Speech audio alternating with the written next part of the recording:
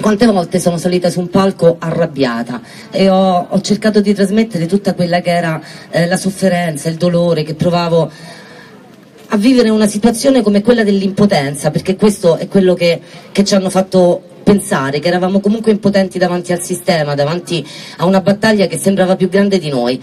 Piano piano questa rabbia si è trasformata in consapevolezza Prima i ragazzi della lista mi hanno chiesto dacci un consiglio, dacci un consiglio se, se mai dovesse accadere che, che, vinciamo, io lo auguro alla città, lo auguro al paese che piano piano, comune dopo comune, pezzo dopo pezzo, veramente il Movimento 5 Stelle sia quel virus che contagia in maniera positiva le, le coscienze delle persone. La cosa che gli ho detto, gli ho detto guardate, il giorno stesso se dovesse accadere che venite eletti aspettatevi di di sentirvi criticare, di dirvi immediatamente dopo che non valete niente, che è tutto difficile. Quando metterete le mani all'interno di un'amministrazione scoprirete che c'è peggio di quanto avreste mai potuto immaginare. Rendetevi conto che ci saranno i primi sei mesi nei quali penserete chi me l'ha fatto fare perché è così. È così io tanti giorni mi sveglio e mi dico ma chi me l'ha fatto fare? Sì, io sono uscita dalla seconda volta dall'ospedale e il 90% delle, delle nostre patologie, ci ha finito Luigi, ci ha finito Bonafede, sono lo stress, perché, perché se non lo fai perché hai un interesse tuo proprio che riguarda di, di, andare a fare un accordo con la multinazionale, con la lobby, con l'amico, perché hai promesso qualcosa, ma lo fai per il paese e ti rendi conto che tutto il resto della politica se lo fa per i beati cavoli suoi, stai male, stai male. Dici che, come, come posso aiutare?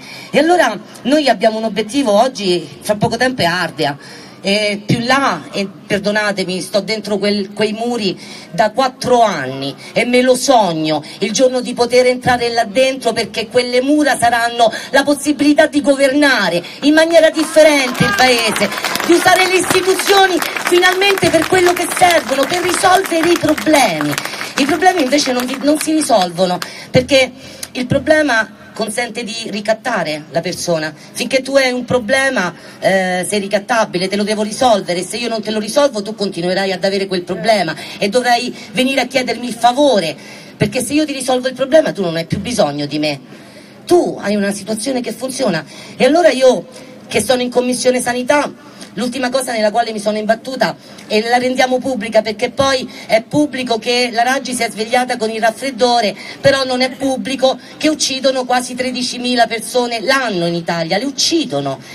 Voi sapete, se non lo sapete oggi ve ne, ve ne metto a, a comunione insieme a me, è stato eh, trovato il farmaco che eh, cura l'epatite C una patologia mortale della quale ancora oggi muoiono 30 persone al giorno, 1000 persone al mese qualcosa in più perché si arriva a 13.000 persone l'anno.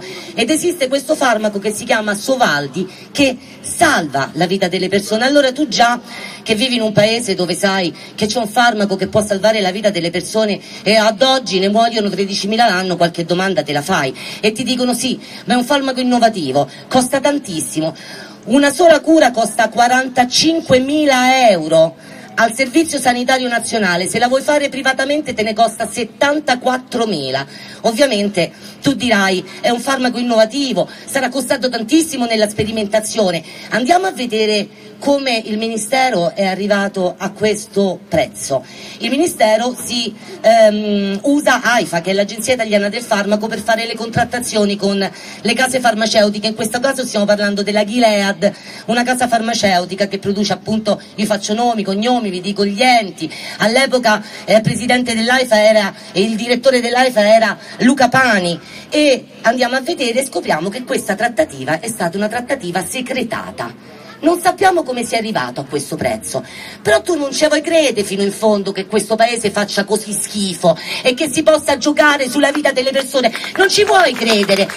Quando però ti informi e arriva una direttiva da parte del Ministero il 23 marzo dove dice che se c'è un farmaco che può salvare la vita, che però il Servizio Sanitario Nazionale non riesce a darti, tu puoi andare all'estero a comprarlo, perché? Perché lo stesso farmaco in Egitto costa 900 dollari, 45 mila euro in Italia, 900 dollari in Egitto.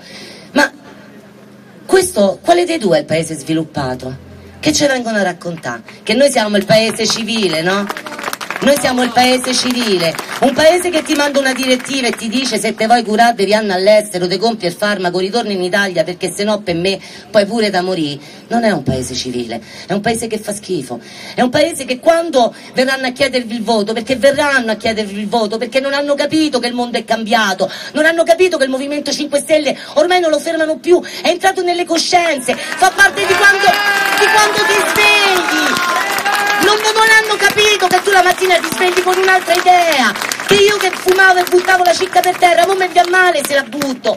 Che ho fatto un parcheggio sulle strisce pedonali, santo Dio, ma metto in tasca piuttosto che darvi la possibilità di romperci le scatole. E lo faranno, perché ti sei svegliata e non ti sei fatta la barba, perché guarda ti sei messa la maglietta bianca, perché quella c'aveva il cugino del fratello, del zio, del nonno, che votava PC. Questo è. E questo vi dovete aspettare. Guardate se c'avete Navo che ha fatto una stronzata, perché lo verranno a trovare e sarà sulla prima pagina di tutti i giornali. Ma del sindaco di Terni, che se lo so bevuto, non ne ha parlato nessuno, nessuno, nessuno. Qui parlano solo di quello che fa comodo a loro. È un meccanismo perverso, sono tutti legati insieme, più si va avanti, più stanno tremando, hanno paura. E noi la paura la sentiamo, la sentiamo quando non si parla mai di legge elettorale, perché non hanno trovato la quadra, perché non sanno se gli fa più comodo Verdini o se gli fa più comodo Berlusconi, non hanno ancora capito chi chiedete più, quanto te devo dare, quante poltrone vuoi, vuoi essere ministro di che? Così funziona. Qualcuno ha detto il programma, Renzi se ne è uscito con tre parole, lavoro, casa e mamma. Mamma. Qui ci sarebbe bene una battuta romana che io non farò. Non farò. No, perché poi me ne pento, poi me ne pento e non la faccio, no. Non mi lascio. Ognuno ha la mamma che se merita, voglio dire. Eh? E Renzi, figlio di chi è? Lo sappiamo con tanto rispetto per la mamma. Perché poi quando tu ti comporti così con paese, ma che te devo dire? Ma che ti devo dire? Sei stato lì dentro tre anni e ora mi vieni a dire che cambierà il paese. Si tre anni che stracavolo hai fatto? Eh? Si tre anni, tutti i provvedimenti, noi siamo gli inesperti, tutti i provvedimenti che hanno presentato erano per la maggior parte incostituzionali. Quelli che non erano incostituzionali hanno distrutto il paese, il Jobs Act, la buona scuola, le, le soldi e banche. Cosa vanno dato? E allora la consapevolezza è che il giorno che si avvicineranno, perché io lo so Mario quale sarà la sua campagna elettorale, quella del Movimento 5 Stelle, verrà lì e vi dirà come vanno detti i ragazzi, io là dentro ci vado, mi metto in gioco, ma tu devi venire con me, tu anche se non entri, se non sei eletto, e il giorno dopo devi stare davanti a casa tua e raccattare la cicca perché funziona così, o se vedi quello che gli fa fare la cacca al cane per strada, gli dici senti lo porti in sacchetto per favore, perché io mi sono rotto le palle di ciaccare la cacca del cane tuo, eh? Così funziona il Movimento 5 Stelle, senza paura, perché c'è voglia. E allora quando invece gli altri verranno e ti diranno che ti serve? Ditegli che sinceramente non ci serve più niente, che quello che ci dovevano dare ce l'hanno dato. Siamo consapevoli che è una gran manica di fregature quello che ci hanno dato e che ci daranno e che forse con un po' di sacrificio, perché il giorno dopo sarà difficilissimo, ma un po' di sacrificio passo dopo passo, comune dopo comune. Signori, c'è un paese che ci aspetta, non lasciamoglielo più in mano. Io vi ringrazio, grazie Ardia, in bocca al lupo a voi, a Mario. Grazie.